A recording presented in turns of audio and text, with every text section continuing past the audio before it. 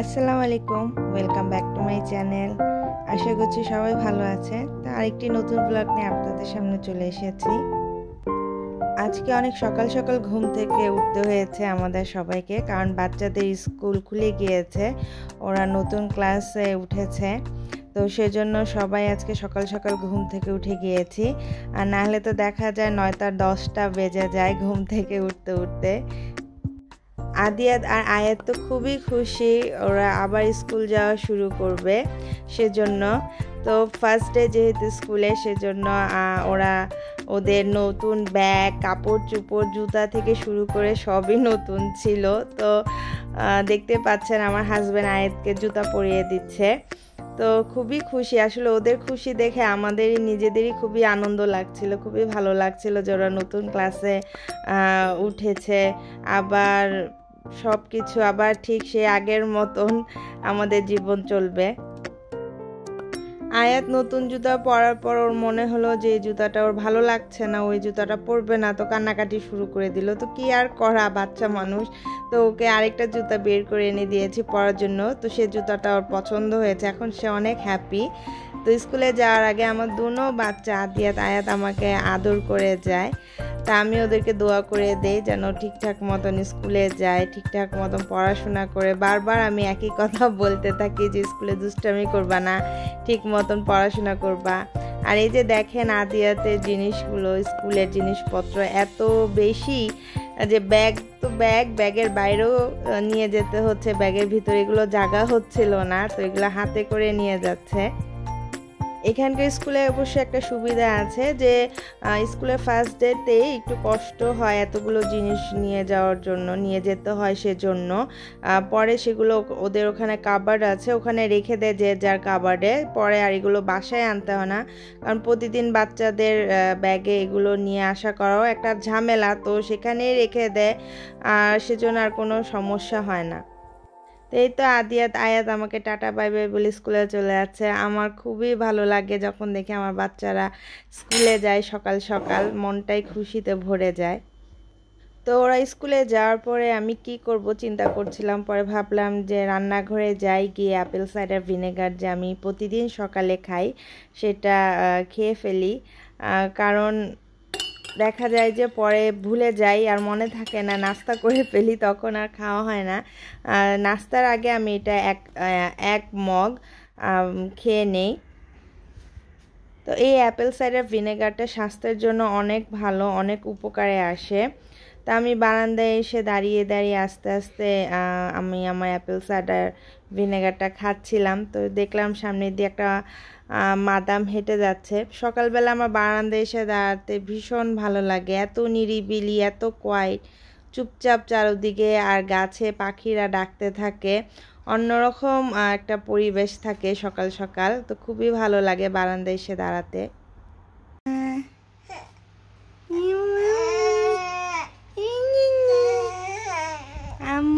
উঠে গেছে আমার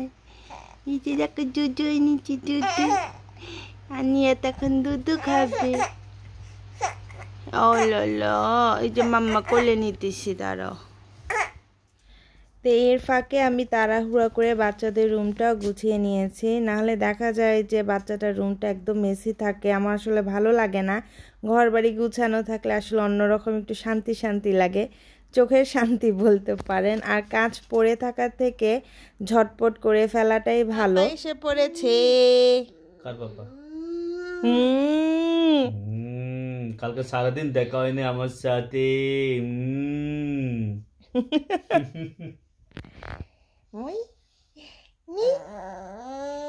মাম্মা।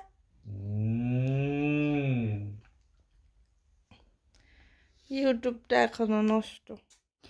এখন আমরা আমাদের সকালে সব থেকে ঝটপট কমন বোরিং নাস্তাটা করব। বোরিং বলছি এই জন্য কারণ আমার সকালে ইচ্ছা করছিল দেশীয় স্টাইলে নাস্তা করতে। তো আসলে কিছুই করার নাই তাড়াতাড়ি যে নাস্তাটা তৈরি করা যায় সেটাই করেছি।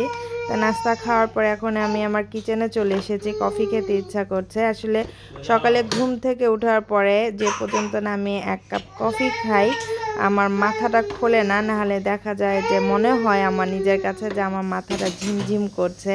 তো যখন কফিটা আমি মানে খাওয়ার খাওয়ার পরে মনে হয় যে না, মাথাটা আমার খুলে গিয়েছে।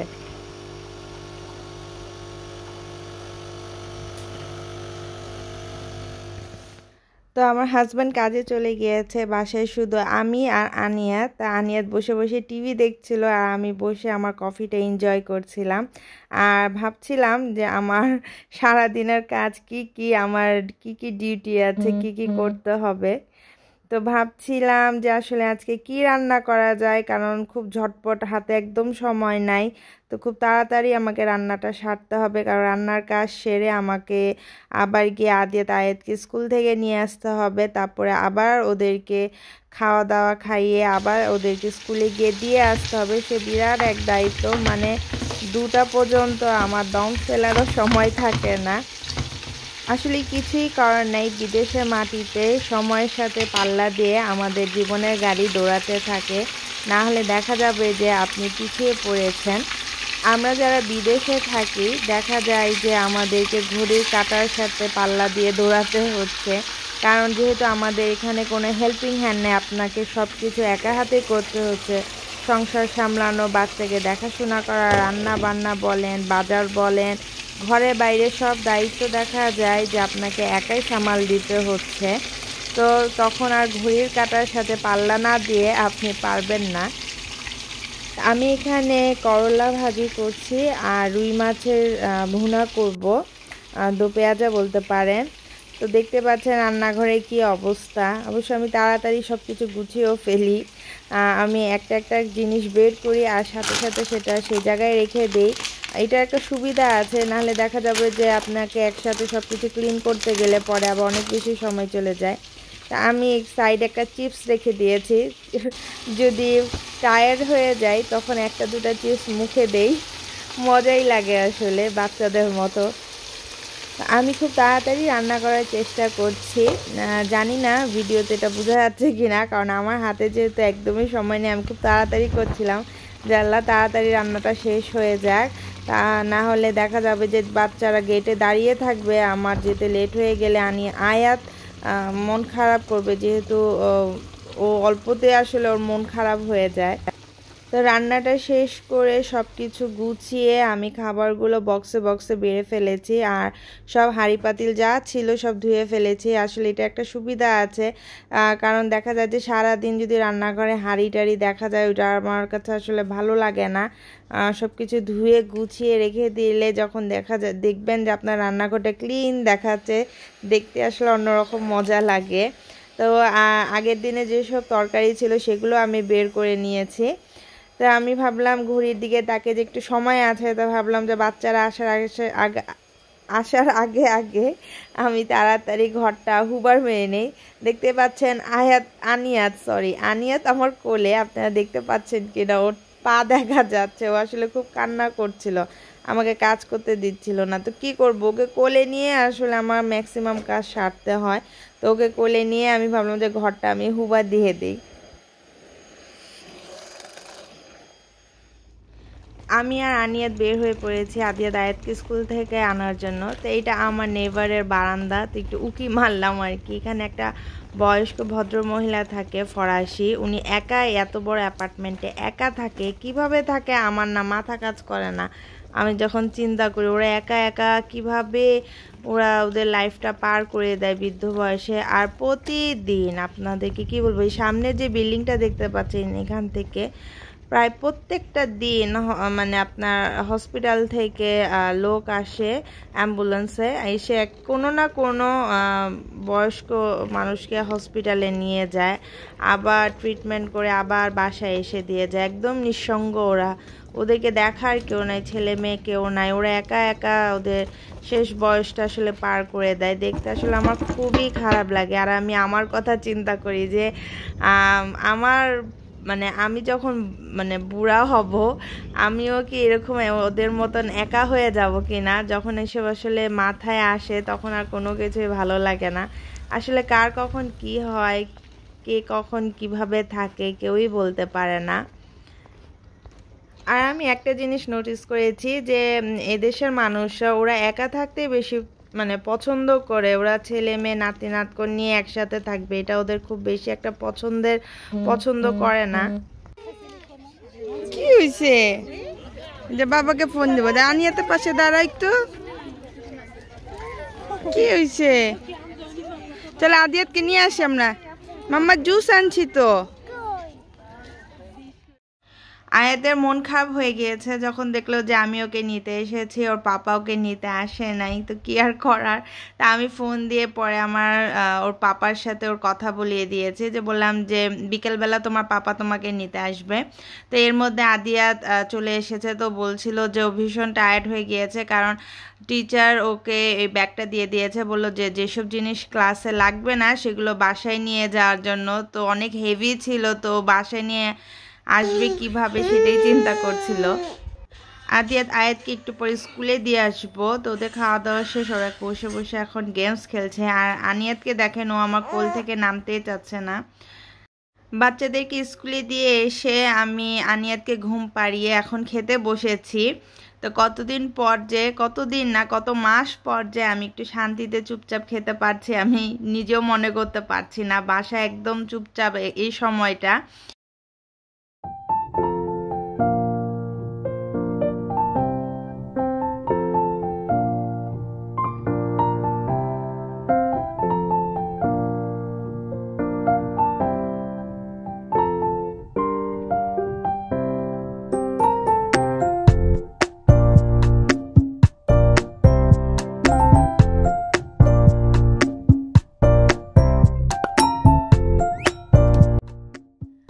হাজব্যান্ড দুপুরে কাজের থেকে আসার পরে আমরা একটু বের হয়েছিলাম। ঘরে টুকটাক বাজার করারও দরকার ছিল, তো সেজন্য আমরা বের হয়েছিলাম। তো একটা খুব সুন্দর এটাকে কি বলে, ডেকোরেশনের সব বলতে পারেন। বার্থডের সব কিছু আপনি থিম অনুযায়ী এই দোকানে পেয়ে যাবে তো এটা হঠাৎ করে চোখে পড়ল, তো ভাবলাম একটু ঢু মেরে যায় এত সুন্দর লাগছিল, এত ভালো লাগছিল, এত কালারফুল সব ধরনের কালারের এখানে জিনিস আছে। আপনি এখানে সব কিছু পাবেন যেমন এখানে দেখতে পাচ্ছেন গোল্ডেন কালারের সব কিছু এক জায়গাতে আপনি পেয়ে যাবেন। তারপরে পিঙ্ক কালারের, ব্লু কালারের, আপনার সব ধরনের কালার এখানে আছে। তো খুব সুন্দর লাগছিল আমার কাছে সব কিছু ডেকোরেশনগুলো। খুব সুন্দর ছিল। দেখা যায় যে অনেকে বাচ্চার বার্থডের প্রোগ্রাম থিম অনুযায়ী করে, তো তারা এখানে আসলে এক জায়গাতে আপনি সব কিছু পেয়ে যাবেন।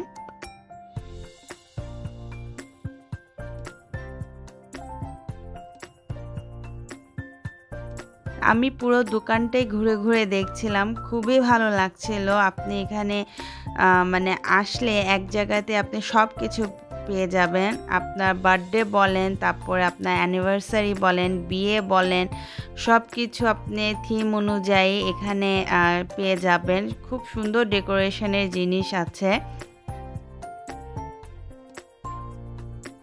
এখানে দেখলাম আপনার কেক বেক করা ডিফারেন্ট টাইপের মোল্ড পাওয়া যাচ্ছে। মানে আপনি যদি থিম অনুযায়ী কোনো কেক তৈরি করতে চান, তাহলে আপনি এখানে এসে সে ধরনের মোল্ড নিয়ে আপনি আপনার কেকটাকে ডেকোরেশন করতে পারবেন।